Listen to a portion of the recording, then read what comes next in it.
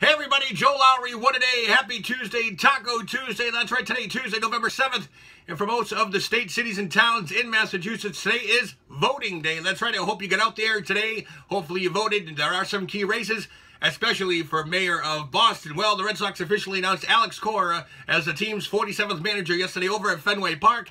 Cora, fresh off his uh, celebrations of his World Series win with the Houston Astros, as we all know, he served as bench coach with the team, and Cora is no doubt excited to be in Boston, and he knows the expectations of success are extremely high. That's right. And speaking of success, last night the Bruins got back in the win column last night as they defeated the Minnesota Wild 5 to 3. Next up for the Bees is tomorrow night as Rivalry Wednesday heats up. They have them going up against the New York Rangers in New York's Madison Square Garden.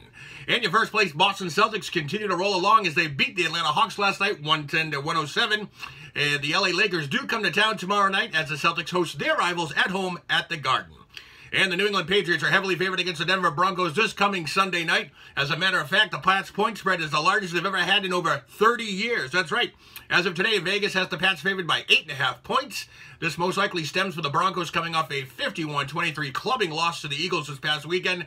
The Patriots are 6 and 2. They're coming off a bye week, and they look to continue their winning ways. The over-under is currently at 46.5 points. Kickoff this Sunday night on NBC at 8.25 p.m. Well, Another week and another senseless tragedy. I'm not in any way dismissing this piece of news. I just refrain from embellishing this horrible, horrible situation.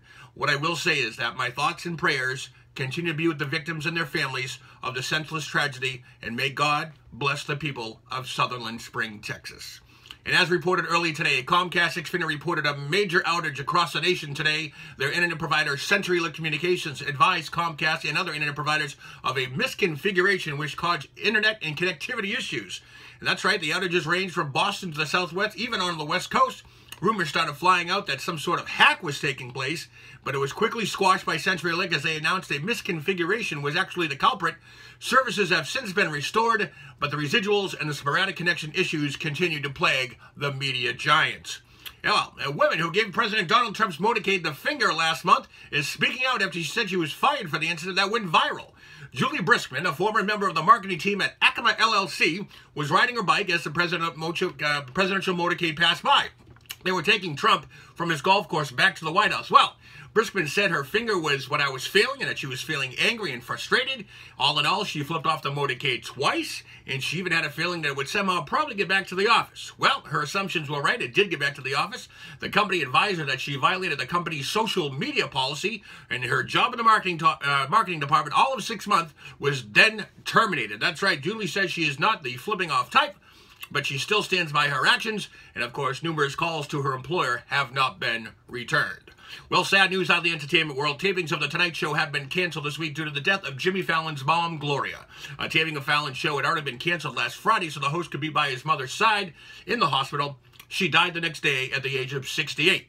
Fallon said in a statement that he had lost his biggest fan. Love and support for the host poured in from fans and colleagues on social media all around. Most notably, Stephen Colbert and Miley Cyrus tweeted out their love and support for Jimmy's mom. NBC also wished, um, also sent their condolences as well. Tapings will hopefully resume next week. Well, everyone can relax now. Diddy is still Diddy. That's right. The mogul-born Sean Combs sent the internet and Twitter a buzz over the weekend when he announced on his birthday he was changing his name to Brother Love. Something that seemed par for the course for Diddy as he changed his name in the past. However, he told everyone that he was just kidding around. But I think deep down the WWE, that's right, the World Wrestling Entertainment had something to do with this. In case you're not aware, the WWE had a character named Brother Love, played by wrestler Bruce Prichard back in the late 80s and early 90s. And some people suggested that a cease and desist letter may have been en route to Diddy at the time. But nonetheless, Diddy is still Diddy. Riddle me diddly that, boys. Okay, folks? Enough of that. Well, we got 47 till uh, 47 days until Christmas hits us. Turkey Day is just 16 days away, which means one thing. The North Quincy High School class of 87 30th reunion is now just 17 days away. That's right, folks. Months of talking about it, and now we are just days away.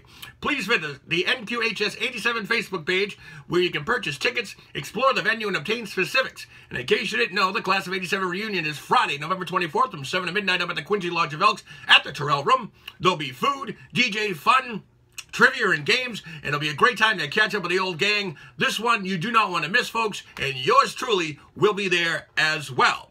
Well, that's it for me, folks. And don't forget to check out my YouTube page at www.youtube.com slash Joe Lowry What a Day. Get all your friends, family, everyone to subscribe. Did I mention it's free? It's 100% free. It's free. Anyways, folks, I'll see you tomorrow as it will be Hump Day, the week's middle finger. Happy Tuesday, everybody. I'm Joe Lowry. What a day.